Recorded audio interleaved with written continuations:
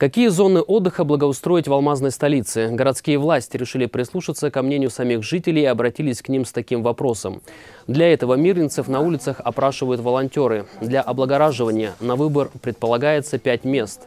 Памятник первооткрывателям, городской парк, улица Советская, набережная реки Ирелях или сквер по улице Бабкова в микрорайоне Заречный.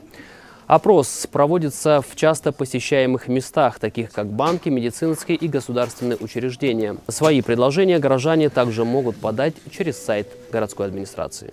Предварительно пока у нас 5 объектов. А, это будет все а, до, до 9 марта мы, а, у нас продолжается сбор предложений. В марте месяце у нас будет уже, то есть пойдет уже как рейтинговое голосование. То есть там уже определим, сколько у нас будет предложений, сколько мы наберем. В принципе, может быть 5, может быть и больше.